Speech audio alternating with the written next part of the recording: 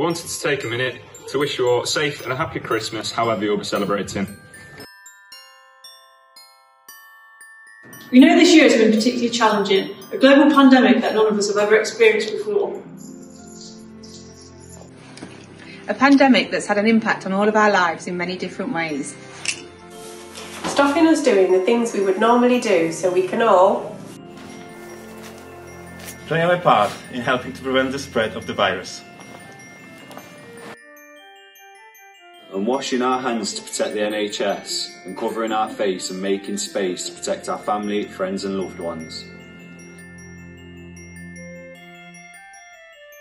We know Christmas is going to be different, but we hope you find an opportunity to safely spend some time with those that are important to you. And if you can't spend time with them in person, pick up the phone and give them a call or send them a video message. We've all found new ways of keeping in touch this year.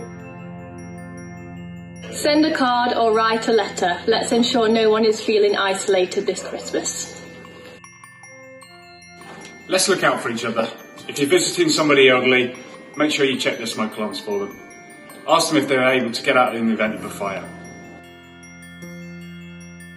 However you celebrate this Christmas, we hope you stay safe and don't forget we're always here if you need us. To make Derbyshire safer together. Merry Christmas! Ho ho ho!